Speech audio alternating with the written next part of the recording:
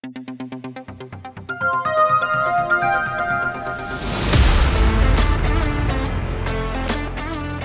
อลัมน์บันทึกหน้าสีในหนังสือพิมพ์ไทยโพสต์นะครับ วันนี้ก็ตรงกับฉบับประจำวันอังคารที่ 2 เดือนสิงหาคมปีพุทธศักราช 2565 นะครับ วันนี้เขียนโดยผู้ที่ใช้นามปากกาว่าหมาไม้เริ่มต้นอย่างนี้ครับไทยโพสต์ อิสรภาพแห่งความคิดนะครับ รัฐบาลประยุทธ์จันโอชาเนี่ยยังนิ่งนอนใจไม่ได้ครับเกี่ยวกับเรื่องการแพร่ระบาดของโควิด -19 นะครับเอาละถึงแม้ว่าความรุนแรงของเชื้อเนี่ยอาจจะไม่เหมือนกับสายพันธุ์เดลต้าแต่ถ้าดูจากตัวเลขของผู้ติดเชื้อยังคงพุ่งสูงขึ้นอย่างต่อเนื่องนะครับเมื่อวานนี้วันที่ 1 สิงหาคม ปรากฏว่ามีผู้ป่วยรายใหม่ต้องเข้ารักษาตัวในโรงพยาบาลจำนวนทั้งหมด 2,108 คนด้วยกัน แล้วก็เสียชีวิตไป 19 ศพ ในขณะที่โรคฝีดาดลิงในกรุงเทพมหานครเนี่ยมีการสอบสวนโรคต่อเนื่องจากกลุ่มผู้ที่สัมผัส แล้วก็มีความเสี่ยง 17 คน ถึงแม้ว่าจะยังอยู่ในภาวะที่ควบคุมได้ แต่ก็ประมาทไม่ได้เหมือนกัน โควิดกลับมาระบาดหนักเนี่ยนะครับพลเอกประยุทธ์ก็ฝากโฆษกรัฐบาล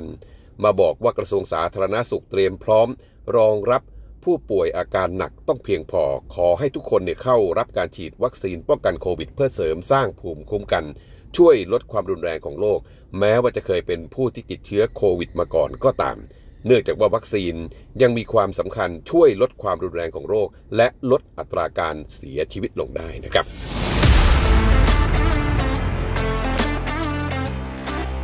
บันทึกต่อมาครับโควิด กับฝีดาดลิงเนี่ยน่าห่วง แต่ขณะเดียวกันภาวะการเมืองที่กำลังรุมเร้า ก็มีผลต่อเนื่องไปถึงชะตากรรมของรัฐบาลด้วยเช่นกันนะครับ ยังต้องตามลุ้นกันต่อไป อภิปรายไม่ไว้วางใจรัฐบาล เอาตัวรอดมาได้แล้วก็จริง ม็อบนอกสภาก็ยังรอจังหวะที่จะรุกไล่กันอยู่ แต่ว่าเหตุการณ์ที่หลายฝ่าย ให้ความสนใจแล้วก็จับตาก็คือวาระการดำรงตำแหน่งนายกรัฐมนตรี 8 ปีบางฝ่ายก็มองว่าวันที่ 24 สิงหาคมเนี่ยถือว่าครบวาระไปแล้ว เรื่องนี้ผลสรุปจะออกมาอย่างไรเนี่ยไม่มีใครรู้หรอกครับ ผลทางบวกทางลบ ออกมาได้ทั้งนั้นแหละไม่ว่าจะออกมาทางไหนล้วนแต่มีทั้งคนพอใจและไม่พอใจ และมีผลต่อเนื่องทั้งนั้น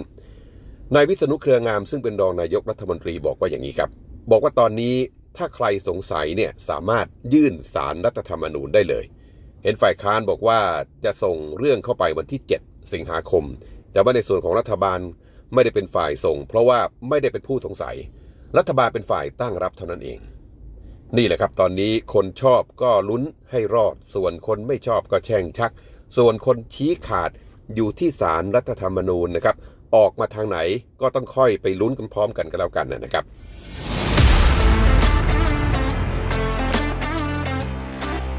บันทึกต่อมาครับยังคงหาทุกเหลี่ยมมุมที่จะเล่นงานรัฐบาลอย่างต่อเนื่องนะครับพักเพื่อไทย สสบางคนเนี่ยขู่ว่าถ้าหากว่ากฎหมายลูกว่าโดยการเลือกตั้งผ่านวาระสามโดยที่สูตรการคำนวณสสบัญชีรายชื่อ เอา 500 ไปหารผ่าน ก็จะยื่นให้ปปชเนี่ยเอาผิดกับสสที่เห็นด้วย เนื่องจากว่าทำผิดรัฐธรรมนูญ ควบคู่ไปกับการเตรียมยื่นปปชเพื่อเอาผิด รัฐมนตรีที่ถูกอภิปรายไม่ไว้วางใจ เรียกว่าเป็นการขยายผลเปิดแผลต่อเนื่องนะครับส่วนความเคลื่อนไหวด้านนอกก็มีการจัดกิจกรรมเดินสายพบปะประชาชน ในนามครอบครัวเพื่อไทยซึ่งนำโดย นางสาวแพทองทานจินวัตรนำโดยนายนัทวุฒิสายเกลือ แกนนำหลักๆของครอบครัวเพื่อไทย มีการเตรียมขนพลพักเพื่อไทย ทั้งแกนนำพักสสพักไปจังหวัดเชียงรายวันที่ 7 สิงหาคมนี้แหละครับ จะมีการจัดปลาใสพร้อมกับลงพื้นที่พบปะกับชาวบ้าน เรียกว่าตุนคะแนนเสียงเอาไว้ก่อนแล้วก็เตรียมพร้อมสำหรับการเลือกตั้งครั้งหน้า โดยวางเป้าหมายที่จะทวงอำนาจคืนกลับมา เพื่อ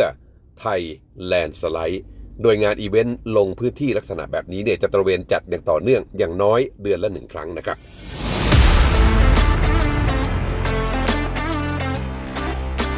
บันทึกต่อมาครับตอนนี้ตลาดการเมืองก็กลับมาคึกคักอีกครั้งหนึ่งนะครับเมื่อวันที่ 1 สิงหาคมเมื่อวานนี้เนี่ยพักรวมแผ่นดินได้จัดการประชุม เลือกกรรมการบริหารพักชุดใหม่ ได้พลเอกวิทย์เทพหัสดินณอยุธยาเป็นหัวหน้าพักมีการตั้งเป้าว่าจะกวาดสสมาให้ได้ 25 ที่นั่ง ในขณะที่วันที่ 3 สิงหาคมวันพรุ่งนี้ครับจะมีการประชุมใหญ่วิสามันของพักรวมไทยสร้างชาติที่สโมสร ราชพฤกษ์นะครับเพื่อเลือกหัวหน้าพักและก็กรรมการบริหารพักชุดใหม่ ซึ่งถ้าหากว่าไม่มีอะไรพลิกล็อกเนี่ยนายพีรพันธ์สาลีรัฐวิภาค จะได้มาเป็นหัวหน้าพักมีชื่อที่จะได้รับเลือกให้เป็นหัวหน้าพักส่วนนายเอกนัทพร้อมพันธ์ก็จะมาเป็นเลขาธิการพักพร้อมกับกระแสข่าวที่อาจจะได้เห็นนัทพลทีพสุวรรณ อาจจะได้เห็นพุทธิพงศ์ปุณกันมาร่วมงานด้วย เป็นเหมือนกับกปปสรียูเนียนแล้วก็เป็นอีกพักทางเลือกที่จะเสนอตัวรับใช้ประชาชนในจังหวะย่างก้าวทางการเมืองผ่าน ระบบตัวแทนจากปีของผู้มีอำนาจในปัจจุบัน ที่ต้องไปต่อกรกับอีกฝั่งหนึ่งเพื่อเป็นการช่วงชิงอำนาจทางการเมือง ในสนามเลือกตั้งครั้งหน้านี่แหละครับ